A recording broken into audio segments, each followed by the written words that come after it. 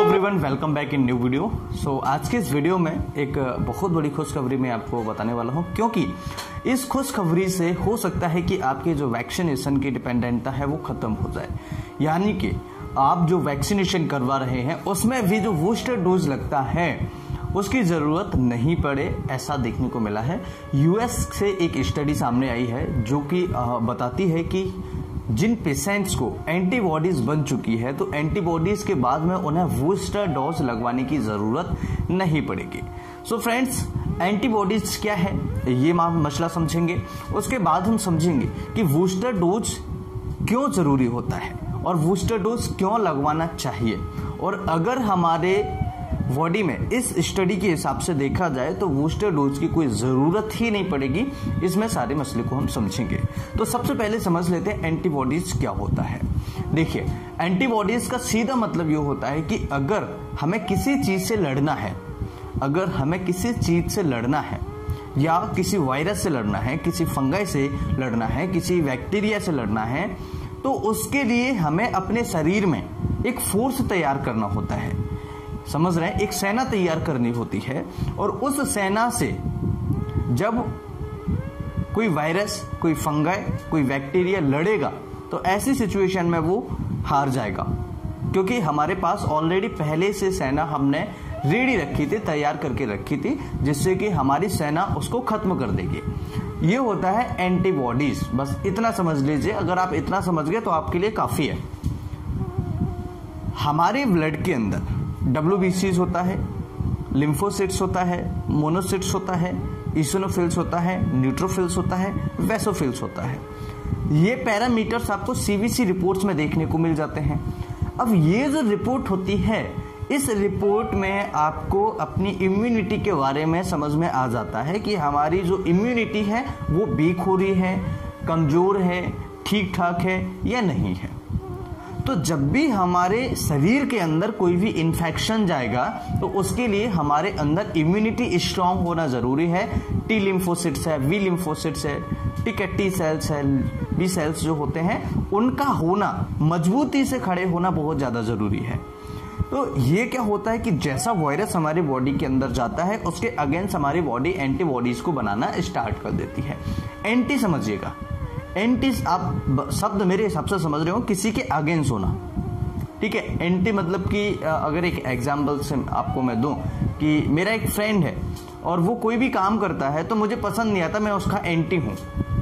या वो कोई काम करता है तो मुझे पसंद नहीं आता मैं उसके एंटी हूँ। ठीक है? तो हम दोनों में कंपेटेबल कोई कोई भी चीज़ नहीं है। है ना? कोई भी चीज़ एक समान नहीं हो पा रही है। वो कुछ अलग करना चाह रहा है तो मैं कुछ अलग करूँगा। मैं उससे और ज़्यादा स्ट्रॉन्ग करूँगा। तो ये सारी चीज़ें जो एक एग्ज़ाम्पल के तौर पे बता रहा हूँ, लेकिन सिंपल एग्ज़ाम्पल मैंने आपको दे दिया है कि जब भी हमारे बॉडी के अंदर, शरीर के अंदर ब्लड के अंदर कोई इन्फेक्शन जाएगा तो वहाँ पर हमें एंटीबॉडी सेना की ज़रूरत पड़ेगी, क्योंकि उसे हमें मारना है।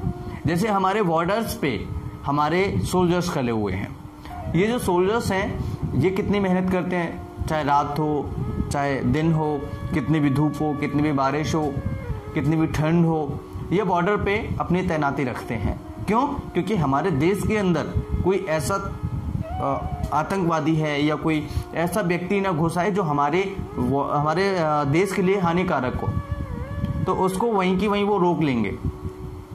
ठीक है? तो इसलिए हमारा फोर्स वहाँ पर लगा हुआ है। इंडियन आर्मी है है ना? काफ़ी सारे ऐसे फोर्स हैं हमारे इंडिया के जो बहुत ज़्यादा मेहनत करते हैं, है ना?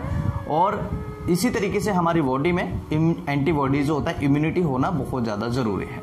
आई होप कि इम्यूनिटी आप समझ गए होंगे।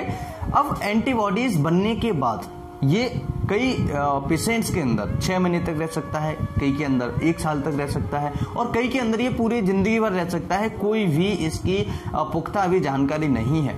और जिस मरीज़ को ये ज़िंदगी भर रहने वाला है तो उसके लिए बहुत अच्छी खबर है, क्योंकि उसको बूस्टर डोज लगवाने की ज़रूरत नहीं पड़ेगी। ऐसा स्टडी में देखने को मिला है। अब ये आगे कितना कंफर्मेशन इसका होता है, ये स्टडी आगे कितना प्रोग्रेस करती है, कितना आगे जाती है, ये देखने वाले टाइम में हमें आपको आने वाले समय में पता लगेगा। लेकिन अगर ये सही है तो कहीं ना कहीं हमें थोड़ी सी राहत मिलेगी और बूस्टर डोज का भी काम यही होता है कि हमें लंबे समय तक इन्फेक्शन से बचा के रखना। बूस्टर डोज भी ज़रूरी था। अब हालाँकि बूस्टर डोज की जो है वो ट्रायल्स चल रही हैं कि बूस्टर डोज अगर कितने दिन बाद लगाया जाए तो क्या होगा? या किस पेशेंट को लगाना चाहिए, किसको नहीं लगाना चाहिए? ये सारी चीज़ें भी स्टडी बूस्टर डोज को फेवर में चल रही हैं। देखते हैं कि रिज़ल्ट कितने जल्दी आते हैं और क्या रिज़ल्ट होते हैं। लेकिन स्टडी यही है कि जिन पेशेंट को इम्यूनिटी बन चुकी है, उनको बूस्टर डोज की हो सकता है कि ज़रूरत ना पड़े, जो कि पेशेंट क्योंकि उनकी सेल्फ इम्यूनिटी उतनी है जो इन्फेक्शन वायरस को खत्म कर सकती है। सो होशियार रहिए बैक्टीरिया वायरस से और आज के समय में जो एनवायरमेंट पे बैक्टीरिया वायरस हैं, वो तो ठीक है, लेकिन हमारे आसपास हम में से ही कुछ लोग ऐसे हैं जो जो वायरस का काम कर रहे हैं, बैक्टीरिया का काम कर रहे हैं तो उनसे बचना बहुत ज़्यादा ज़रूरी है।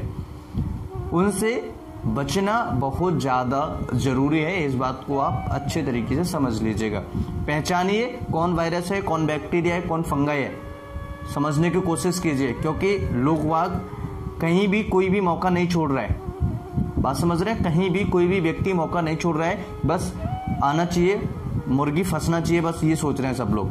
तो मैं आप सभी से निवेदन करूँगा कि ऐसे लोगों से दूर रहें जो आपको नुकसान पहुँचा सकते हैं, आपको परेशान कर सकते हैं और हो सके तो आप में से अगर कोई ऐसा है जो गलत रास्ते पे अगर बाय मिस्टेक अगर चला गया हो तो मैं उससे निवेदन करूँगा कि अपनी फैमिली की तरफ़ ज़रूर देखें और ये जो जितने भी बुरे काम हैं वो छोड़ दें, क्योंकि समय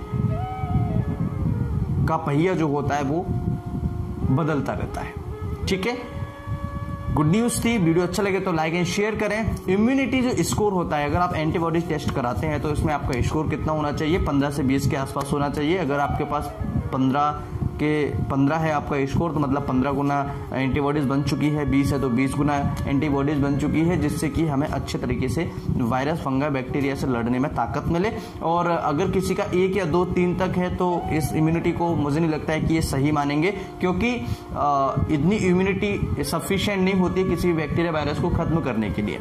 आई होप ये वीडियो से आप बहुत कुछ सीखे होंगे। वीडियो आप सभी के लिए बहुत ही हेल्पफुल होगा। इस तरह की और वीडियो देखने के चैनल को सब्सक्राइब करें और वीडियो को ज़रूर शेयर करें। अपना प्यार ज़रूर दें। इस वीडियो में हर एक कमेंट का रिप्लाई मैं आपको करूँगा। सो so, इस वीडियो को अंत तक ज़रूर देखना। अगर आपका कोई प्रश्न है तो मुझे कमेंट सेक्शन में ज़रूर पूछना। नमस्कार। Thanks for watching have nice day जय हिंद जय भारत